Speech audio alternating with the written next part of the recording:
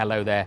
The primary role of a financial advisor is not to recommend an investment portfolio. It's to produce a financial plan, to adjust that plan as required over the years, and most of all, to make sure that you stick to it.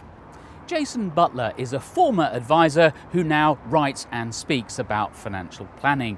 He says there are three main risks involved in not having a plan. One, you may not actually get to where you want to go because you haven't articulated, you know, you won't know what success is because you haven't articulated it. Uh, secondly, you are highly likely to make less what we call suboptimal decisions, which means bad decisions, okay? You know, decisions that aren't as good as they could be.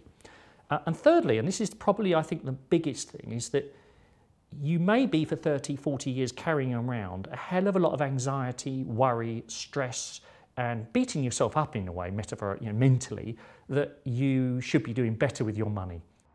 So, what exactly is a financial plan and what purpose does it serve?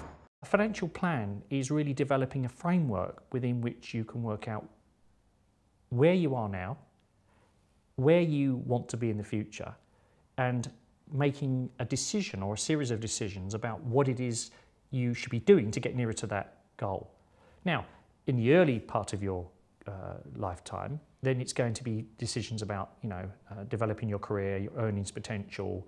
Uh, then it's about things like accommodation, where you're going to live, and relationships, and possibly family, building businesses. But as you get older, obviously it becomes more about sort of living off your money and being financially independent when you can't or don't want to uh, work. And then in latter years, it's about sort of making sure that you've had uh, the right kind of latter uh, um, lifestyle in your latter years that you really want and making sure that you're secure and not a burden on anyone um, and that you can lead the legacies that you want.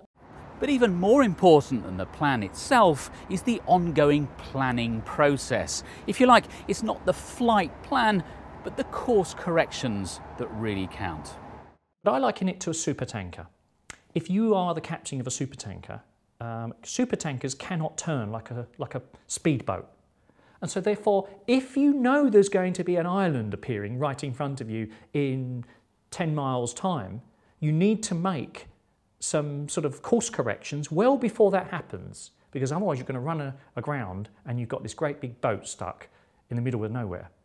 Thanks to Jason Butler and to you for watching. Goodbye.